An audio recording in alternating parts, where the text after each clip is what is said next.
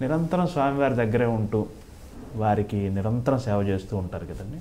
సమాజంలో జరిగే మార్పులు సమాజంలో జరిగే ఇవన్నీ కూడా మీ చెవిన పడుతూ ఉంటాయి. మీరు అంటే మీ ఆవేదనని లేదా సమాజం తాలూకు ఆవేదనని స్వామివారితో ఖచ్చితంగా విన్నవించుకుంటూనే ఉంటారు. ప్లస్ స్వామివారిలో క్షణక్షణానికి వచ్చే ఆ మార్పులు ఆ స్పందనలు అవి మామూలు మా బోటి వాళ్ళని గుర్తించలేం. కానీ మీ బోటి వాళ్ళు మీకు అర్థమవుతుంది. స్వామివారు నవ్వారు కోప్పడ్డారు ఇట్లాంటి సూక్ష్మమైన ఫీలింగ్స్ మీకు అర్థమవుతుంది. అది దేవాలయంలో కులశేఖర పడి అని ఒక థ్రెషోల్డ్ ఉంటుంది. అంటే అది ఆ మెట్టు దాటి ఎవరు లోపలికి రాకూడదు. అర్చకులు తప్ప. నాకు సంబంధించినంత వరకు కులశేఖర పడికి బయట ఉన్నది భౌతికమైన ప్రపంచం. కులశేఖర పడి లోపల ఉన్నది ఒక మానవాతీతమైన ఒక పరిమాణంలో ఉంటుంది. అక్కడి నుంచి బయట ప్రపంచాన్ని చూసినప్పుడు మనకు అది పారదర్శకం అయిపోతుంది వచ్చిన ప్రతి మనిషి ట్రాన్స్పరెంట్ అయిపోతాడు అక్కడ మా దృష్టికి. బయట జరిగి ప్రపంచంలో జరిగే పరిమా పరిణామాలు వీటన్నిటినీ కూడా అక్కడ చూస్తూ ఉంటాం. భక్తులనే పేరుతో వచ్చే కొంతమంది నిజంగా భక్తితో వచ్చే కొంతమంది వారికి అక్కడి సిబ్బంది చేసే సేవలు. వీటన్నిటిని చూసినప్పుడు కాస్త బాధగా ఉంటుంది. కొన్ని సమయాల్లో జుగుప్సగా కూడా ఉంటుంది. అప్పుడు నేను ఈ ప్రపంచాన్ని చూడకుండా స్వామివారి వైపు తిరిగి కూర్చుంటాను. లేకపోతే స్వామివారిని అలా చూసినప్పుడు స్వామివారు నవ్వుతూ ఉంటారు. ఇదంతా హాలీలే నేనే వీళ్ళందరినీ ఇలా ఆడిస్తున్నాను అంటారు. సరే.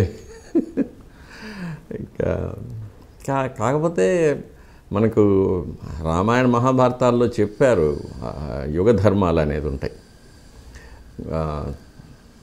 కృతయుగంలో నాలుగు పాదాల ధర్మం నడిచిందని తర్వాత మూడు పాదాలు తర్వాత రెండు పాదాలు కలియుగంలో ఒక పాదం. కలియుగం ముదిరినప్పుడు అంటే చివరి ప్రళయ సమయం వచ్చినప్పటికీ ఆ ఒక్క కాలు కూడా విరిగిపోయి ధర్మదేవత కుంటుతూ నడుస్తూ ఉంటుందని అది చూస్తున్నాం.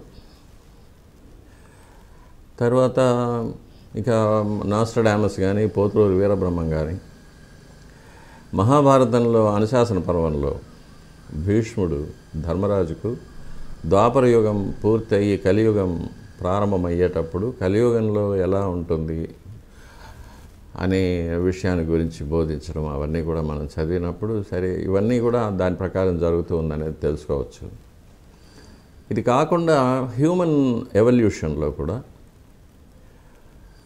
మనుషుల్లో ఒక క్రూరత్వం ఒక అత్యాశ హింసాత్మకమైన ప్రవృత్తి అంటే తమోగుణం. ఇవన్నీ కూడా ఎక్కువ అవుతుందని.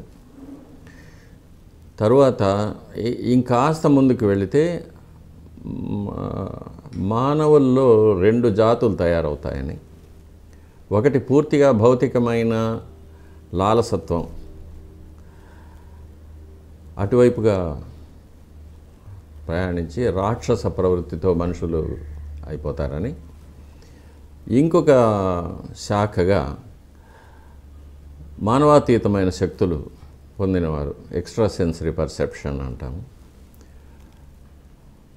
అటువైపుగా ఒక మానవ జాతి ఉద్భవిస్తుందని. ఇప్పుడు మనం కూడా చూస్తూ ఉంటాం. చాలామందిలో చిన్నపిల్లలు కూడా పూర్వజన్మ జ్ఞానం రావడం లేక ఇప్పుడు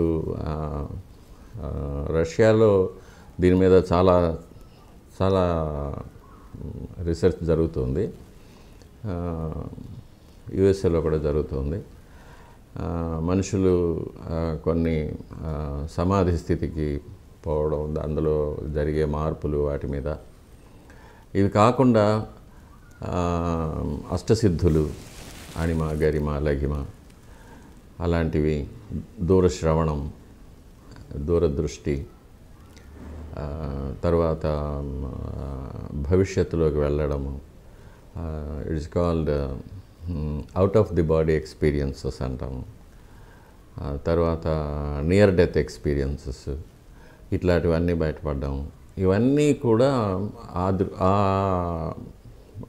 ఆ- దిశగా మనకు కనిపిస్తున్న ఎవిడెన్సెస్ ఇవి. కాబట్టి ఇవన్నీ మనం చూస్తూ ఉంటాము.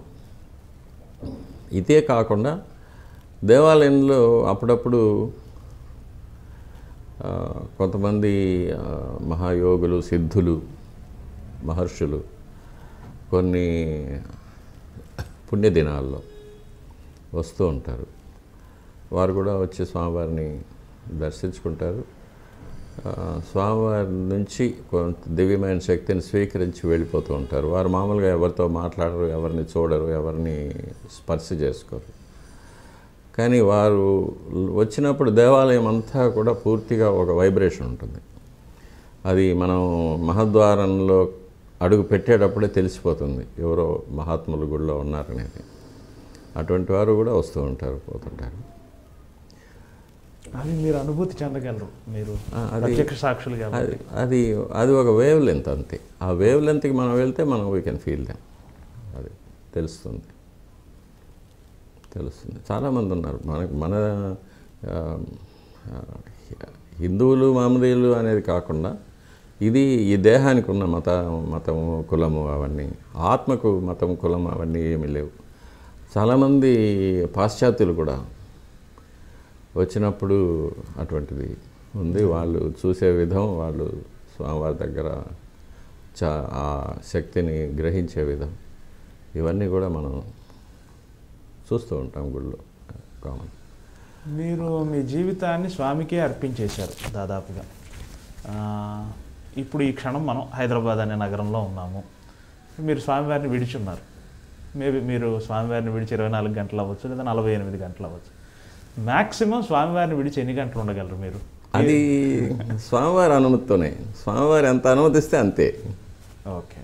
అలా ఎన్ని రోజులు అనుమతించారు? మీకు మ్యాక్సిమం ఎన్ని రోజులు అనుమతించారు? మ్యాక్సిమం ఏడు ఎనిమిది రోజుల కన్నా ఉండదు. ఉండదు. అందులో కొన్ని కండిషన్స్ కూడా పెడతారు ఆయన.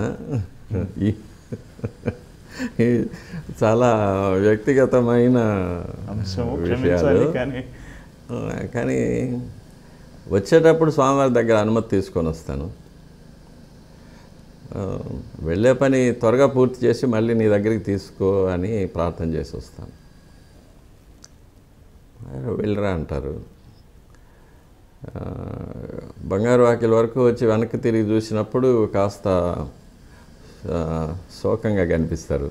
వెళ్తున్నావా అంటారు. సరే త్వరగా వచ్చేస్తానని చెప్పి వస్తాను. మళ్ళీ తిరిగి వెళ్ళినప్పుడు మళ్ళీ ఇంటికి వెళ్ళి స్నానం చేసి స్వామివారి దర్శనానికి వెళ్తూనే అప్పుడు చాలా సంతోషంగా అనిపిస్తారు వచ్చేసావా? వెరీ గుడ్ అంటారు. అది ఇట్లా.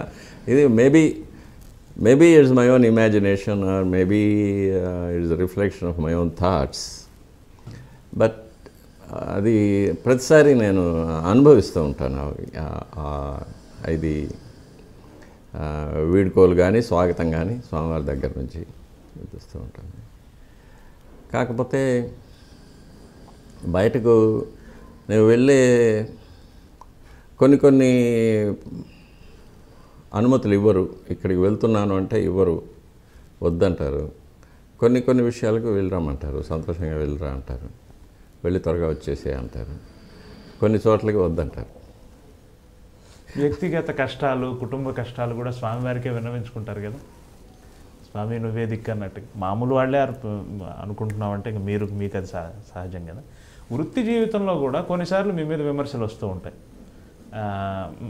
వాటిలోకి పోను కానీ అలా వచ్చిన సందర్భాల్లో కూడా మీరు స్వామికే విన్నవించుకున్నారా? ఏమి స్వామి? ఏం విన్నవించుకోను? వదిలేస్తా.